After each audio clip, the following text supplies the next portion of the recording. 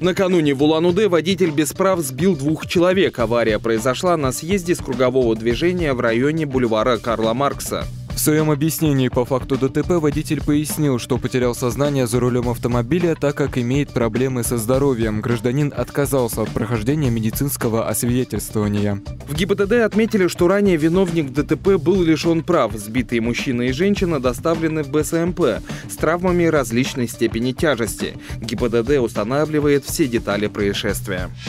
В Заиграевском районе в ночь со 2 на 3 февраля произошел смертельный пожар. При его тушении спасатели обнаружили в доме тело мужчины. Причины устанавливаются. Площадь Совета. Коммунальная техника убирает снег. Это сейчас еще грузовик уехал. Он стоял, перегородил дорогу, снег убирали.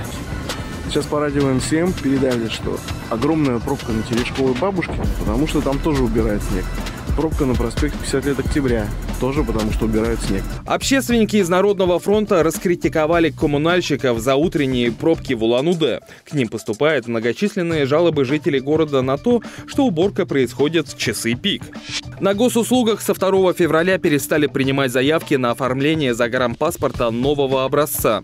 В госзнаке это объясняет дефицитом микросхем из-за повышенного спроса на паспорта. В настоящее время производитель этих микросхем АО «Микрон» осуществляет перенастройку оборудования и оптимизирует технологические процессы для того, чтобы в будущем соответствовать возросшему спросу на обсуждаемые микросхемы.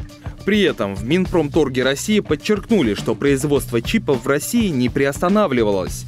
Возможность оформить паспорта с биометрией обещает вернуть к марту.